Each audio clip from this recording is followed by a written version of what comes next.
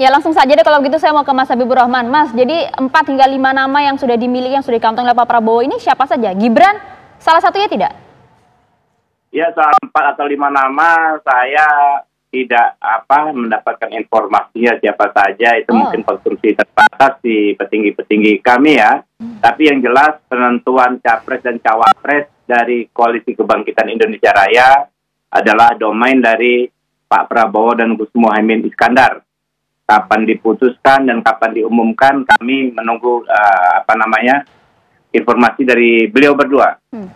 Ya, tapi kalau di internal sendiri nama-nama yang menguat begitu mengenai uh, pasangan dari Pak Prabowo siapa? Ya kami serahkan kepada Pak Prabowo dan Gus Mohaimin okay. Skandar untuk memilih yang terbaik. Itu hak prerogatif ya. dari Ketua Umum lah ya. Kalau ya. gitu saya mau bergeser ke Mas Burhan. Mas Burhan, tadi menarik ya, klunya yang disampaikan oleh Mas Arya Bima adalah pertemuan Gibran dan Pak Prabowo ini tidak, tidak seizin dari PDI Perjuangan. Ini bisa dimaknai apa? Apakah ini pertemuan ini merupakan bentuk untuk menarik Gibran sebagai cawapres dari Prabowo atau justru ini merupakan penugasan dari PDIP atau sebetulnya seperti apa atau bentuk dukungan bahkan untuk Prabowo Subianto?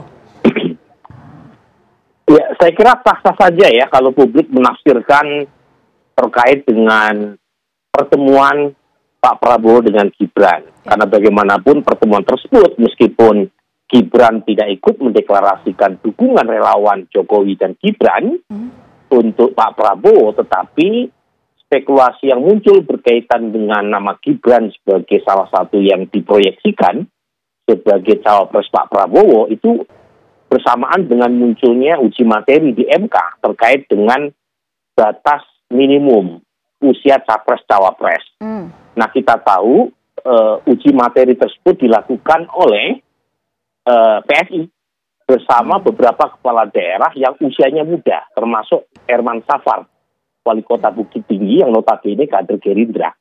Nah kalau kita lihat dari sisi uh, gugatan usia tersebut, secara umum sebenarnya masuk akal karena kalau kita lihat uh, usia para pemimpin dunia itu terjadi proses peremajaan. Orang seperti Perdana Menteri Finlandia, Sanna Marin itu usianya muda sekali.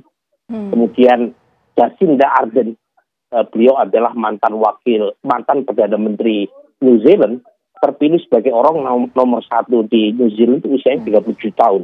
Hmm. Trudeau, uh, termasuk Macron ya, Presiden Prancis, itu ketika menjadi presiden sekarang pun masih, itu usia 39 tahun. Jadi memang di dunia ini terjadi proses permajaan. Di Indonesia ada syarat. Syarat yang secara normatif melarang orang seperti Gibran menjadi capres dan cawapres karena usianya belum mencapai 40 tahun. Hmm, okay. Jadi bahwa kemudian orang mengaitkan dengan uji materi tersebut sah-sah saja. Tetapi kalau kita mengacu pada syarat normatif undang-undang yang kita anut, per hari ini Gibran tidak bisa masuk dalam proses pencapresan atau pencawapresan.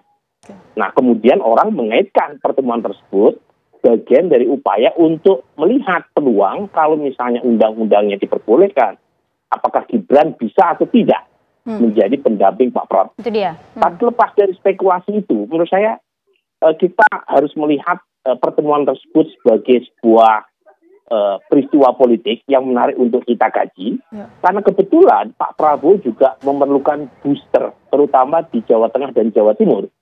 Di dua pilpres 2014 dan 2019, Pak Prabowo kalah di dua provinsi ini. Ya. Dan dengan dukungan relawan Jokowi Gibran, meskipun cuma ada 15 kelompok relawan ya, Pak eh, Aryo Bimo menyebutnya relawan dari sayap Gerindra pendukung Mas Wali waktu pilkada kemarin, terlepas daripada itu makna politiknya yang luar biasa. Okay. Karena seolah-olah relawan Gibran dan Pak Jokowi di dua provinsi ini eh, ikut eh, mendeklarasikan Pak Prabowo okay. sebagai capres. Yeah dan itu tentu menguntungkan secara elektoral okay. buat Pak Prabowo. Mas Burhan, artinya yang saya tangkap dari pernyataan Mas Burhan ini kan uh, potensi Gibran menjadi cawapres dari Prabowo kan terbuka kalau nanti uh, apa uji materi ini bisa goal atau on the track lah. Nah, tapi pertanyaan saya begini. Kalau andai kata kita mengamini apa yang disampaikan oleh Mas Burhan bahwa Gibran ini berpotensi menjadi cawapres dari Prabowo Subianto, tapi kalau kita lihat hitungan kursi di DPR RI perolehan suara sah nasional PDIP ini kan menduduki kursi peringkat pertama di DPR RI. Apakah memungkinkan untuk kursi cawapres bagi PDIP? Bukan. eh, PD Perjuangan tetap dengan keputusan awalnya mendeklarasikan Ganjar sebagai capres. Oke. Jadi eh, menurut saya itu keputusan yang belum dikoreksi oleh Hmm. Ibu Mega. Artinya kalau misalnya ada celah ke arah sana itu di luar dari keputusan formal PD Perjuangan. Orang bisa menafsirkan jangan-jangan PD Perjuangan main dua kaki dengan menitipkan eh, eh, Gibran yang notabene adalah kader eh, PD Perjuangan sebagai cawapres Pak Prabowo.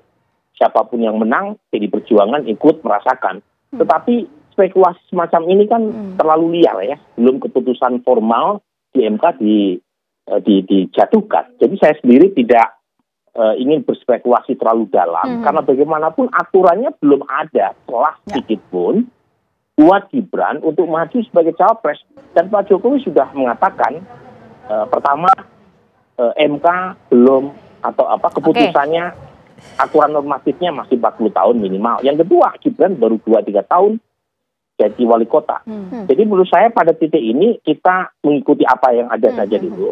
Bahwa makna politik itu besar sekali Cina. Karena bagaimanapun kalau kita lihat data pendukung Pak Jokowi yang mulai mengalir ke Pak Prabowo Hmm. itu sudah seperempat persen dari total pemilih Pak Jokowi 2019. Nah kalau misalnya Pak Prabowo makin berhasil menarik pemilih Pak Jokowi karena sedikit banyak dari pertemuan atau gesture dari keluarga besar Pak Jokowi yang sepertinya Hmm. memberi angin buat Pak Prabowo, ya bisa jadi makin besar dukungan Pak Prabowo terutama di dua provinsi kunci, Jawa Tengah dan Jawa Timur. Jadi lepas soal apakah Gibran cawapres Pak Prabowo atau tidak ya? tidak, Ah. yang jelas kita melihat ya Pak Prabowo makin Baik. firm dengan strateginya dan itu pula yang tadi disampaikan oleh Mas Asto ya. Hmm, iya. Hati-hati dengan manuver. Nah, jangan-jangan manuver ini dialamatkan kepada Gerindra gitu. Ya itu dia, tapi sebelum nanti ke Mas Habibur Rahman, saya mau ke Mas Arya Bima dulu. Tadi disampaikan oleh eh, Mas Burhan gitu ya, makna politiknya Mas, apakah betul kemudian PDIP akan main aman, main dua kaki begitu paling tidak menitipkan juga Gibran sebagai cawapres dari Prabowo. Ada kemungkinan itu tidak? Peluangnya seberapa besar untuk dibahas di internal? bukan tradisi PDI Perjuangan ya. Kalau main dua kaki kayak pemanjat tebing itu bisa dua-duanya kepelengkang ya. PDI selalu satu kaki dengan Oke. kokoh ya. Karena kekokohan PDI ini narasi besarnya adalah lebih mewujudkan Indonesia Raya seperti disampaikan oleh Bu Mega. Saya menggarisbawahi yang terkait dengan judicial review-nya PSI. Hmm. Tolong ya, ini tidak ada kaitan dengan Pak Jokowi dan Mas Wali Gibran ya.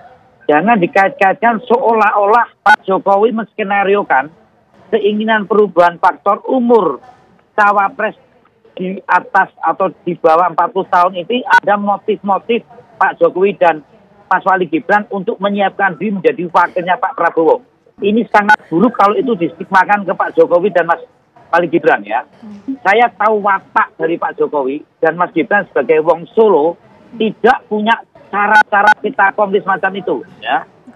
Saya melihat ada framing seolah-olah Pak Jokowi dan Mas Wali ini menyiapkan diri dengan meminta relawan atau PSI dan relawan dari Partai Gerindra untuk judicial review dan distigmakan seolah ada ambisi politik yang berlebihan untuk Pak Jokowi menyiapkan Gibran sebagai wakilnya Pak Prabowo. Yang Maaf- memframing maafin siapa, ya. Mas?